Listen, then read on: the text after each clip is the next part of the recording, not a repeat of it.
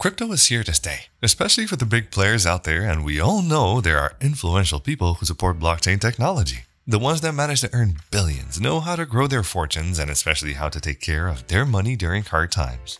These people are certainly visionaries. If I aroused your curiosity and you want to know who made billions out of crypto, here are the most famous people that did it.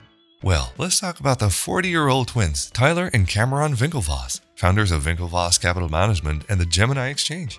They're number 5 on our top list, and their estimated crypto fortunes are of $4 billion each. The two brothers stated that they bought $11 million worth of Bitcoin in 2013, some even for the price of $10. They also own the Nifty Gateway platform where users can buy, sell, or auction NFTs. During an interview in 2014, they stated their conviction that Bitcoin's market cap will surpass Facebook's. Well, they were right. Apparently, the Facebook scandal was not forgotten. Let's move on to Barry Silbert, founder of Digital Currency Group, an investment group that owns brands such as the Coinbase Exchange, Coindesk News Platform, Brave Browser, and the Grayscale Bitcoin Trust, where he manages over 645,000 Bitcoin, now valued at over $26 billion. Well, Silbert didn't manage to amass such an impressive fortune for himself, having only 3.2 billion he made from buying Bitcoin for the first time in 2012. His plans are to accelerate the development of a better financial system through Digital Currency Group and for the company to become, quote, the epicenter of the Bitcoin and blockchain industry. We want to improve as well, so if you have any topic in mind that you would like to discuss together, feel free to drop me a comment below.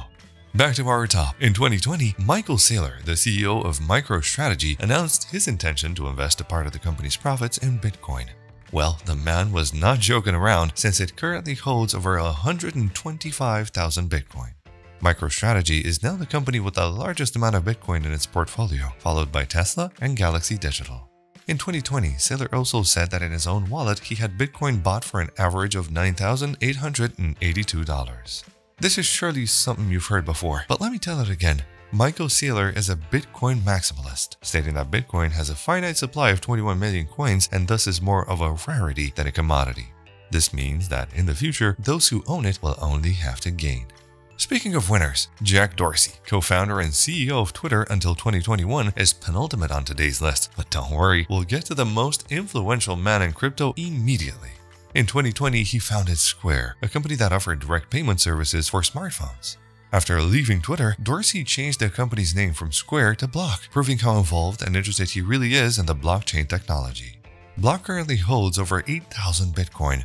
Jack said during an interview that blockchain technology is the most important branch of his professional life and that he thinks Bitcoin will end up replacing the dollar in the future. Last but not least, we move on to Elon Musk, the founder of Tesla, SpaceX, and Neuralink. He is known for having a strong influence in the crypto space. On April 2, 2019, he tweeted about Dogecoin, and yes, you've guessed it, the value of the coin doubled and now is $0.15. So we can say that a part of Dogecoin's success is also due to Elon Musk's influence. Recently, he bought 9.2% of Twitter shares, thus becoming the main stakeholder. Twitter is the preferred platform of crypto users, and Elon's investment may be an important step in accelerating adoption. Oh, let's not forget that Tesla owns over 48,000 Bitcoin. Although we can't even imagine what it's like to have such an influence, if you found today's topic interesting, encourage us by subscribing to the Cryptomatics channel. That is, if you haven't already done it.